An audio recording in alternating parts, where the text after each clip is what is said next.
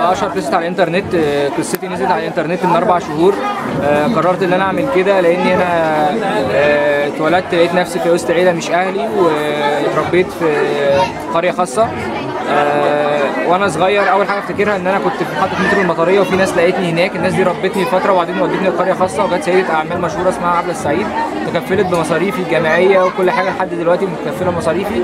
آه، لحد ما اتخرجت من القريه متخرج من القريه بقالي سبع سنين شغال كنت شغال جنب الدراسه. آه، قررت ان أنا ابحث عن أهلي شفت علامات مميزه في جسمي ما كنتش شايفها رتم ما بين صوابعي. آه، ده ما كانش موجود ما كنتش اعرفه. عرفته في ثانوية عرفت العلامات اللي في جسمي دي آه، هي اللي هترجعني لأهلي. وكان في واحد زميلي معايا في القرية اسمه محمد آه، فوجئت ان هو من أربع شهور خمس شهور بيكلمني بيقول لي إن هو رجع لأهله. آه، ده برضو شجعني إن أنا اداني أمل أكتر. وأنا من زمان آه، كنت عارف إن أنا يعني هدور على أهلي دي كان حقهم عليا إن أنا أعمل كده وأدور عليهم. يعني كان لازم أعمل كده. نزلت صوري على الفيسبوك من ثلاث شهور. آه وأنا صغير بس خفت انزل صور وأنا كبير. آه لقيت ناس كتير تواصلت معايا. الناس لما تواصلت معايا لقيتهم مش أهلي بيدوني علامات. وأملي زاد. آه قررت أحط صورتي وأنا كبير. قلت يمكن أكون شبه حد من عمالي من عمامي من خلاني من أي حد.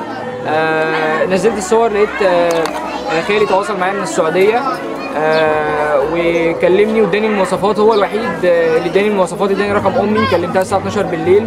آه سألتها عن المواصفات نفس المواصفات نفس الجلابية اللي لابسها نفس الصندل نفس العلامات. قالت لي على وحمه في رجليا ما كنتش عارف مكانها. آه أنا أصلا أول ما سمعت صوتها استريحت لها وبكيت جامد وقلت لها أنت أمي.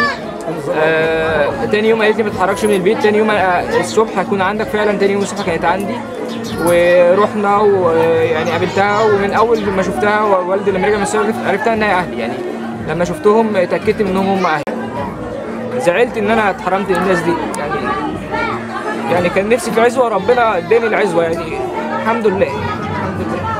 والدتي أول ما شفتها خدتها بالحضن وبعد كده هو والدي وبعد كده لما جيت البلد خدت البلد كلها بالحضن.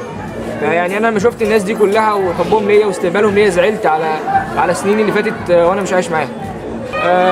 ماما عبلة السعيد هي أمي برضو لحد دلوقتي وهتواصل معاها وهي أمي الثانية و... والناس اللي لقوني في المطرية بتواصل معاهم لحد دلوقتي و...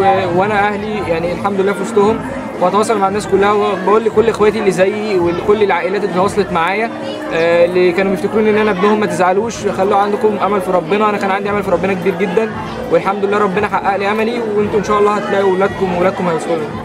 لي بطاقة باسم أحمد علي مسعود. آه، باسم أمي مش أمي واب مش أبويا وشهادة الجامعة. دلوقتي عايز أغير اسمي باسمي دلوقتي باسمي محمد محمد عبد الله أحمد علي. آه، ده اسمي الحقيقي دلوقتي. أبويا معايا شهادة الميلاد بتاعتي ولا عمل لي شهادة وفاة ولا عمل لي أي حاجة. كان عارف إن أنا عايش وأمي كانت عارفة إن أنا عايشة. شهادة الميلاد موجودة وكل حاجة موجودة بس أنا عايز شهادة الجمعية وشهادة والبطاقة. يعني أي حد من المسؤولين يسهل لنا إجراءات نقل الاسم. وأنا معايا شهادة جامعية بكالوريوس نظم معلومات. آه، بيتهيألي في أسيوط وفي الوسط الريفي اللي إحنا فيه مش هلاقي شغل بشهادتي. فأتمنى لو في أي حد من المسؤولين أو أي حد من اللي يسمعني يقدر يساعدني ويشغلني بشهادتي.